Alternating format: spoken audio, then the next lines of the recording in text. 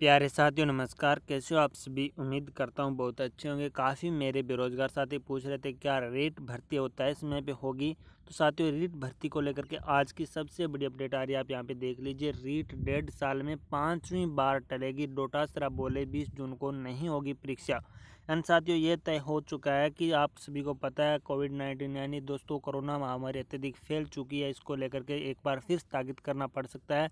तो आप यहाँ पे देख लीजिए, शिक्षा मंत्री जी ने क्या कहा है, करीब डेढ़ साल से रीट का इंतज़ार कर रहे सोलह लाख अभ्यर्थियों को फिर से झटका लगा है। कोरोना के कारण रीट पांचवी बार स्थगित होना तय है। परीक्षा 20 जून को प्रस्तावित थी। शिक्षा जो राज्य मंत्री श्री डोटासरा ने कहा कि कोरोना तेज़ी से फैल रहा है। वर्तमान हालात को देखते हुए किसी भी हालात में रीट 20 जून को नहीं कराई जा सकती। इसे हम आगे खिसकाएँगे और इस पर कुछ दिनों में सीएम से बात करेंगे। इसे बता दें कि रीट 2021 के करीब इकतीस हज़ार तृतीय श्रेणी शिक्षकों की भर्ती की जानी है।